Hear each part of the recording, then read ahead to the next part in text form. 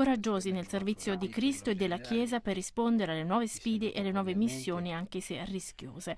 Papa Francesco ha esortato così i chierici mariani dell'Immacolata Concezione della Beata Vergine Maria ricevuti in Vaticano in occasione del loro capitolo generale.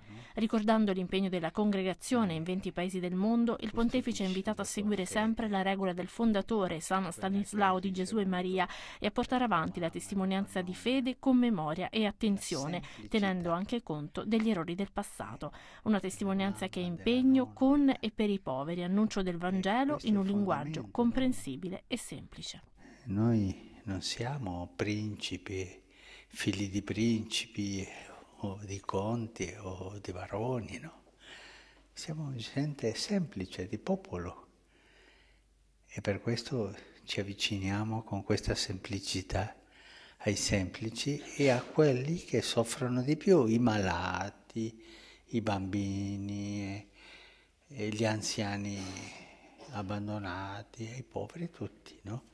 E questa povertà è al centro del Vangelo perché è la povertà di Gesù, non la povertà sociologica, la di Gesù.